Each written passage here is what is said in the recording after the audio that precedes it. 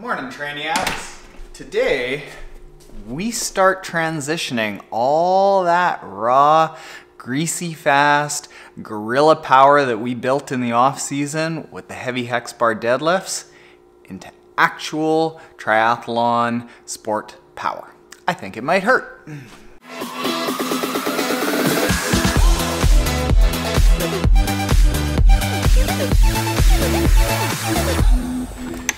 Want to say that it was last week that I talked about muscle tension sets on the bike. And that is where you're doing low cadence, not really worrying about power.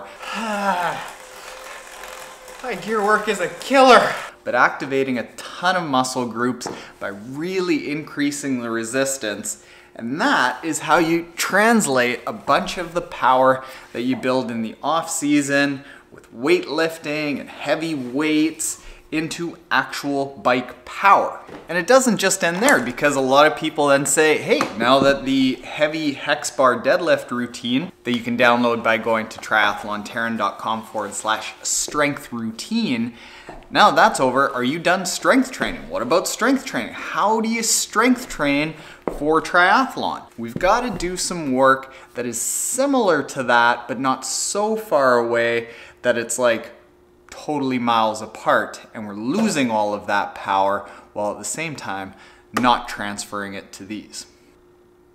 Let me explain this better. All right, so strength, triathlon, maybe miles apart you might think.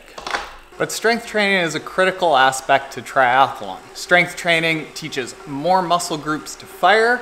It also teaches your body to fire more efficiently. It activates muscle groups that we don't activate just doing running, cycling, and swimming, which are so repetitive that huge chunks of our body structure are not used and essentially just atrophy, potentially leading to injury and underperformance. So, we strength train. A long way away from the season, you wanna do really, really heavy stuff to activate as many muscle fibers as possible.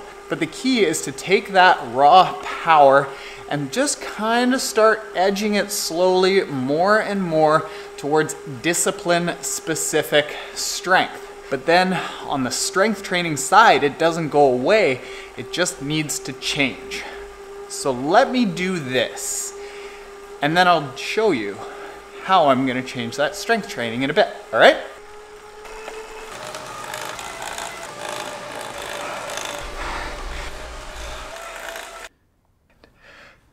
This is not uh, strength work or an interpretive dance.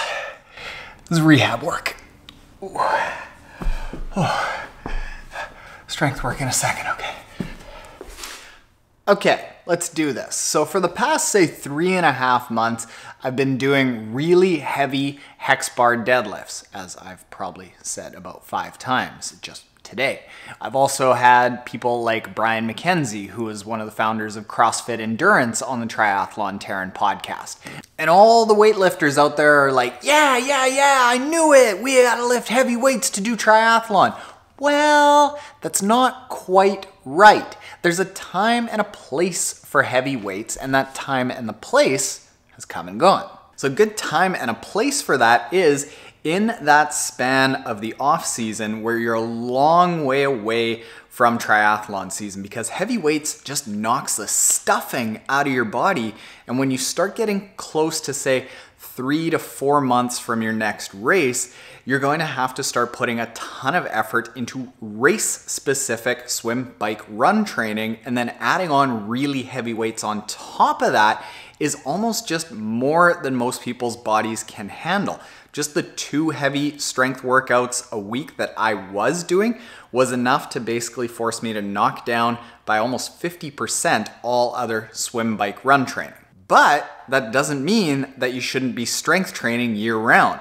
Here's what we're doing at this point in the season. So I want you to think about your cadence with your legs, just cycling or running. We're talking about an RPM of somewhere around 180 strides or revolutions per minute. However, when you're doing really heavy strength work, you're looking at like every single rep might take three to four seconds each.